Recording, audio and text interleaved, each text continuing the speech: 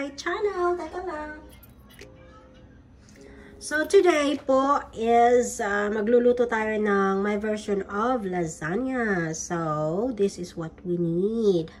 Ito, isang pan na ganito. I'm not sure kung ano to. Basta ito laging ginagamit ko. Recycle na to. Gamit ko na dati. So, yan. A way of saving it is mag, uh, hugasan mo lang para magamit mo next time. And of course, we have here 8 uh, pieces of noodles. Noodles siya. Of course, naghugas ako ng kamay kanina. Um, hindi ko masyadong gusto ganitong noodles eh. Kasi medyo mahirap siya pag hiwalay-hiwalay pagkatapos mo siyang pakuluan ng 15 minutes. Ito siya na brand ganyan. Yan kasi binili ng asawa ko. Gusto ko yung parang korba-korba, ganun-ganun na brand. Ay, hindi ko alam, nakalimutan ko yung pangalan. And of course, do not forget to have our, ano, tawag dito, um, sa, sa SNR namin to nabili eh. As much as possible, kung makakuha kayo ng 90% na, um, ano, na beef is good. Pero ito yung meron sa kanila eh, 88%. So, more than 1 kilo to siya. Kasi ang kasya to siya dyan. And then, ang um, ano ko lang pala is hindi ko siya hinuhugasan ha, ganito lang siya, hindi ko na hinuhugasan kasi pag hinuhugasan malabsa kasi yung lasagna ay pagkatagalan, syempre hindi siya agad maubos kasi ilan lang naman kami ditong kakain. So, yung sa akin is hindi ko talaga siya hinuhugasan. And of course, ilang beses na ako nagawa ng lasagna pero ito so far naman ito yung pinakagusto ko yung mga ingredients na to. So, of course, hindi rin makakalimutan ang Campbell's tomato soup, pang palapot lalo. And of course, gusto ko yung rago kasi ano siya, may uh, chunky siya at saka hindi siya sweet. So, ganito kalaki. Hindi ko maalala kung magkano yung exact price nito pero nasa 200 plus. So, ilang, ano ba to kalaki? 1 pound. Ganyan. And, mozzarella. Ito. Dalawang pack siya ng Arla. Guys, this is not sponsored. Ito lang po yung mga brand na gustong-gusto ko talaga sa lahat ng mga nagamit ko. So, ganyan. Um, ilan ba to eh? Ay, hindi ko maalala kung magkano man to eh. At saka meron din ako uh, kadalasan ginagamit na yung mozzarella na yung ini-slice ko siya. Ini-slice ko muna tapos yun nilagay ko. Tapos yan. Kaso lang wala na ako mozzarella na ngayon. So ito lahat mga to is like kung ano lang meron ako kasi. Biglaan po kasi. Yan lang. And of course, we have here parmesan. Pag grated cheese, parmesan. Yan. And uh, ito, dahil wala akong ricotta cheese, ito muna yung alternative natin ngayon. Ricotta cheese, dapat yan eh. Mamaya, lagyan natin yan ng egg. Tapos, ayan. Pang pasarap lalo. And most requested ng asawa ko is, uh, na nilalagay kasi gusto niya yung spicy. Yes, dalawang teaspoon or tablespoon ng ano, ng sriracha. Sriracha, sobrang spicy na sriracha. And one-fourth na unsalted butter. And uh, isang pirasong buo na malaki na sibuyas na puti apat na piraso na bawang. Ginanyan ko pagkahiwa. And of course, this, uh, halo to siya ng isang teaspoon or yeah, teaspoon ng all seasoning. Isang teaspoon ng Italian seasoning. Ang Italian seasoning po may kasamang thyme, may rosemary, may iba-iba pa. At saka isang teaspoon din ng uh, ground pepper. So, ayan. Yan yun. Um, halo-halo ko na siya dyan. So, ayun lang. Let's get started.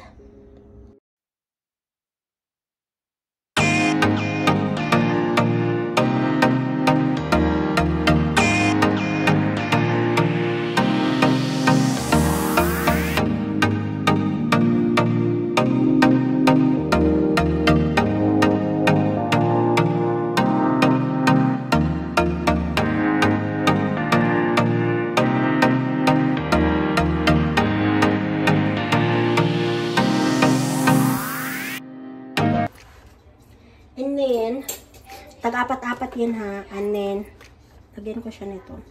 Ano po pala to, um, instead of ricotta sauce, kasi wala kasi ang ricotta sauce is, ano yung cottage, cottage cheese yung ginamit ko. Pero mas gusto ko talaga yung ricotta eh, kasi hindi siya lumpy. Tingnan mo, lumpy-lumpy naman kasi nito. Ayan. So, ganyan. Ito po ay base or ano lang, way ng paggawa ko ng lasagna kasi paborito ng asawa ko to. Lagi na lang niya itong nire-request. Yan. Then, of course, asa na yung pang sandok man? Yan lang yung tingnan yung kilikili ko. And of course, our beef. Yung beef ko pala, umunti na kasi kinuhanan ko na ng ano, pangkain ni baby. bago ko nilagyan ng sriracha, spicy, nilag binigyan ko muna si Marnie. So, munti na lang. May dalawang bata. So, ganyan lang. Handa sana kung meron tayong ano ba, yung mozzarella na hiwa-hiwa or yung pinahati-hati na mozzarella, yung slices, wala eh. Tapos, lagay ko siya ng parmesan. Hmm. The more parmesan, the more winning. Diba? Kahit na balik rin nyo yan, maunang parmesan, maunang cheese, pwede lang yan. Hmm. Medyo manipis lang pagkalagay ko ng beef kasi ano eh. Unti na lang yung beef ko. Binamasan ko kasi. Tsaka dalawang layer lang itong gawa ko ha. Ayan no. Tapos, same thing. Gagawa tayo ng layer ulit ng ano. Noodles na ayaw matanggal.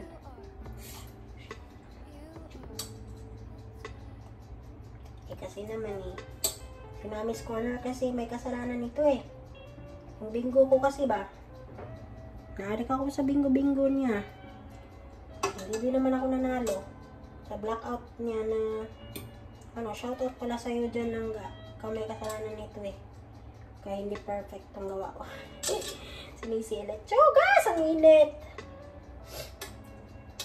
Lalo na pag ano, lalo na pag uh, paggawa mo ng noodles is hin, nilagay mo siyang patong-patong. Agoy, ang hirap talaga tanggalin. Ito ginawa ko is pa-cross yung paglagay ko sa kanila. Hmm. So, yung ginawa ko is 8 pieces lang. Kasi na yung 8 pieces. Dalawang layer lang naman to eh. Ay! Wait. So, for 1 kilo, ang nagawa ko is, ano lang, dalawang layer. Good for ano na to, isang linggo ng asawa ko. for 1 week. So, yun lang. Wala tayo kasi ano eh. You may as well put a cheddar, pero gusto kasi nire-request niya minsan lagyan ng cheddar. Ito, pang ano cheddar, hindi man kasi ano. Pero gusto kasi nila more cheese. More cheese. So again, dami nating ricotta na o ano pala habang ginagawa natin to kailangan natin mag-preheat ng oven to 275. Dami kong cheese kasi malaki yung portion ng cottage cheese na nabili niya. Kailangan nakalubog tong mga pasta na to kasi matigas yan pag naluto. So, dinamihan ko dito ng cottage cheese sa taas na lang. Observe pa din naman yun, no? Guys, pagpasensyahan nyo na yung boses ko kasi, ano, I'm not feeling well. Ilang linggo na to. Isang linggo na to. Sakit ko na to. So, yeah. Wala akong, baka wala akong LS coming Friday. So, kailangan ko mag, mag, ano, Tama ba yung ginawa ko?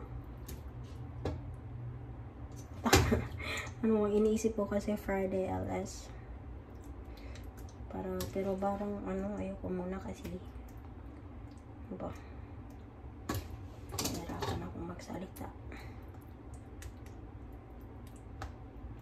So, yun, di ba? Tamang-tama lang, ano, beef tamang-tama lang din sa pan. Ano bang size ng pan na to? Basta ito yung nabibili sa ano sa supermarket na tatlong piraso ta 100 plus.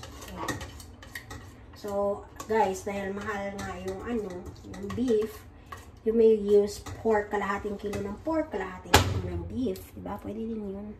Basta yung ano lang, uh, less fat kasi makunat Makunat siya. So, diba guys, tamang-tama lang yun, isang kilo. Ang asawa ko po kasi maarte. Sabihin niya niya. Minsan ka lang mag ano, eh di lubos-lubosin mo na, i-beef mo na lahat. Ayan. Minsan lang ito ah. Ayan na. Diba tamang tama ang aking kalat.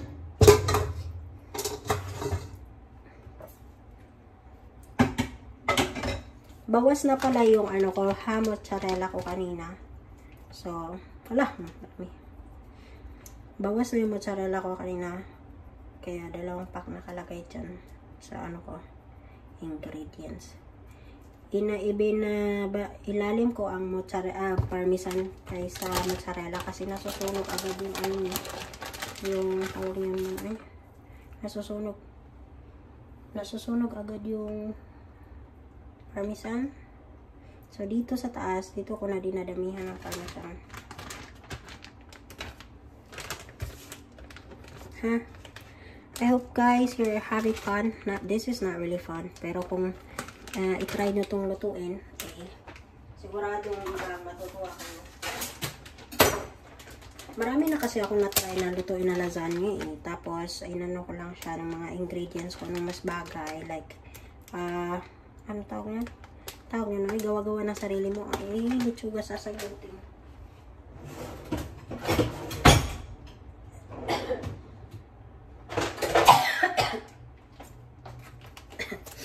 Tips lang. Buksan na lahat bago pa lang mag-start. Ayan. Guys, I would like to say thank you to each one of you guys na nandito ngayon. Thank you so much for always supporting me sa live stream ko man or sa mga videos upload ko. And shout out to Team Kanguso, Reyna Nguso, Lifestyle and Art, Ate Oro Vista Group, Tilani, I love you. LJ, Proud Sarangan PH, Chading, Maika Team Kasangga, at Rivera, Maika at Amazing, and uh, Team Kasangga. Thank you so much sa inyo guys ha. At sa lahat po ng laging nagsusupport uh, sa aking live stream. Ha? Thank you so much. Guys, sa mga bago po pala dyan na hindi pa ako kilala, you will join my live streaming every Monday and Friday, 11 o'clock in the morning onwards, Pinas time. Meron tayong pag-giveaways, a little giveaways. Ha? Um, cash or watch hours sa mga hindi pa money. Ha? Guys, puntahan nyo po ako. And sa lahat ng members ko, thank you so much sa pagiging generous ninyo at hanggang ngayon ay uh, nandyan pa rin kayo. Thank you so much to my pro members today. Savannah Marsan, thank you so much love sa Kuya Dong official. Puntahan nyo po guys ha. Uh, meron yan silang mga ano, mga pakulo. Si Savannah Marsan, o oh, diba inubos ko isa oh. Si Savannah Marsan ay uh, nag-LS every 9pm at night, Pinas time every day. And Kuya Dong, may mga upload lang siya all the way from Australia. Visit niyo po kayo sa si Kuya Dong. Napaka-generous po yan nila ni Kuya Anton for more. Puntahan niyo po. And of course, may lalab chading. Puntahan niyo po. Ang laki na ng bahay niyan. Sa road to 70 na po iyan. Congratulations, Yabs. Proud sarangan. Thank you so much ha. Thank you sa inyo so much guys. And that is all for today. that is all today. So yun nga, na-preheat na yung oven natin ng 375. I'll be right back. Oh, look, look, look, look, look, look. So, nilagay ko na yan siya doon. Iningatan ko yan na hindi mag-hit yung foil. At saka, ano? Yes, pero nagkadikit pa rin siya. Ganyan. Hindi pa tayo tapos magluto ha. Akala nyo lang. Ang hirap kayo maghawak ng cellphone habang ginagano nito. Agoy, agoy, agoy, agoy, agoy. 25 minutes kanina na nakatakip ng foil. Ngayon, i-add natin ulit siya ng, ay, ng 25 minutes na nakabukas para medyo ano yung cheese sa taas. So, ayan nga. Hiwain na po natin. Let's see.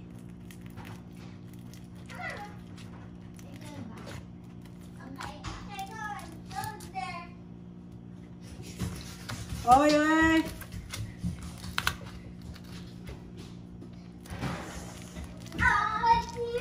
Medyo well done yung ano. Yung cheese